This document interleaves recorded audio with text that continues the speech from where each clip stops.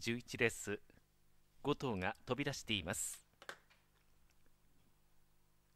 前の4頭は1障害を降りて一旦刻んで今新山一が最後1障害を降りました。内1番北のゴロマンが先行しますが刻んで並んで止まる3番のダイヤエンジェル。そのすぐ後ろに5番のケルコ続きます。12障害の中間。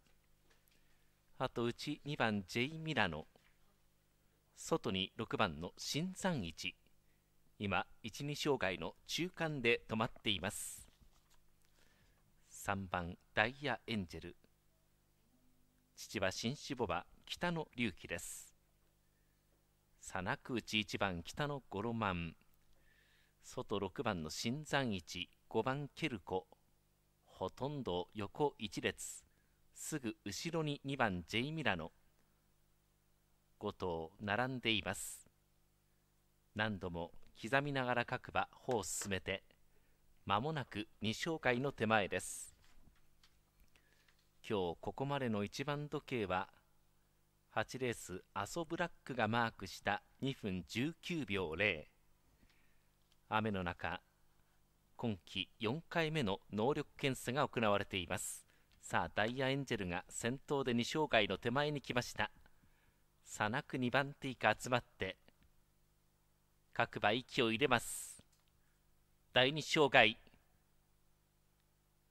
じっくり溜めて5番ケルコ行きました。さあすんなりと頂上まで来ました5番ケルコ。先頭で第2障害降りていきます。そしてうち3番ダイヤエンジェル1番北のゴロマン。この2頭もおりました。あとは今2番のジェイ・ミラノが上がっていきます。ん？と6番の新山1番に障害転倒しています。ジェイ・ミラノ4番手で第2障害寄りました。残り30を切って一気に加速。1番北のゴロマンに先頭変わって4馬身5馬身と離した。その後ろケルコ詰まった。あと3番ダイヤエンジェル。1番北のゴロマン1着。そして残り10のところ5番ケルコその後ろ3番ダイヤエンジェル。それから2番ジェイ・ミラノです。んとケルコ詰まったが立て直してまた歩きます。5番ケルコ2着。3番ダイヤエンジェル3着。